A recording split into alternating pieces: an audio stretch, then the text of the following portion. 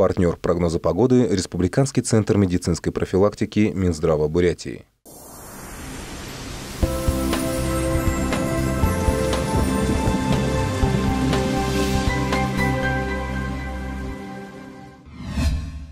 Работающие специально для вас от ТВ Михайлович. Говорим о погоде на 3 февраля.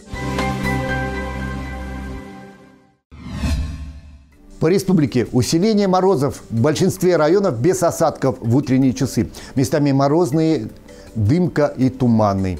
По Прибайкале местами слабый снег, ветер слабый.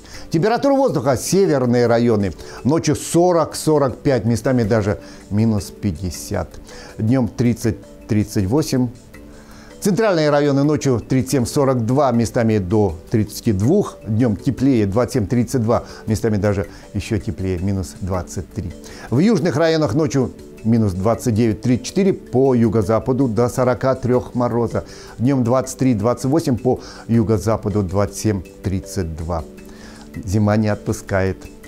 Наша дорогая столица без осадков, ветер слабый, температура минимальная ночью 35-37, максимальная днем 27-29 холодно. Одевайтесь теплее. Атмосферное давление существенно не изменится и составит 724 мм ртутного столба. На дорогах города республики местами снежные накаты. Автомобилисты, помогай вам Бог, будьте осторожны на дорогах.